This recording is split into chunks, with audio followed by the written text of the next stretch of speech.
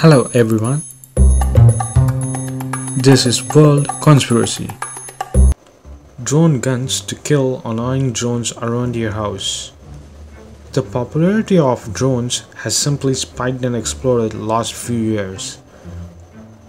As their pricing continues to fall and the making of the drones are getting higher and higher. However, it comes with a big downside an increased nuisance to the public and law enforcement. We are entering a time when people will want to go to battle with drones or a drone race. Although, in Drone Shield's case, no physical damage needs to be done.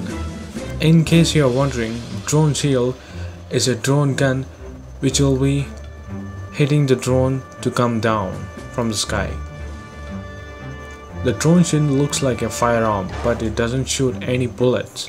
Instead, it can send such an intense signal towards a drone that will simply lose its bearing and float down towards the ground.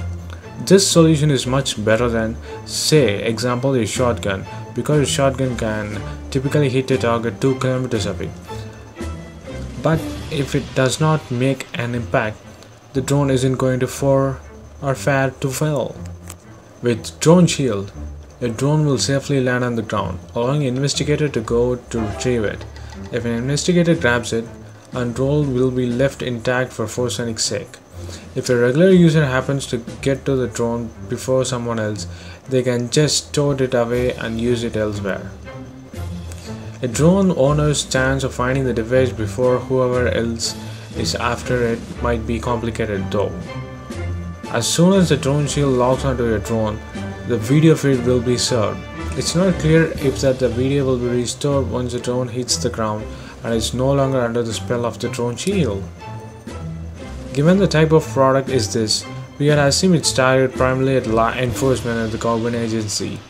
And not surprisingly, the pricing info isn't available still with publicly, so you can contact the company for your price details.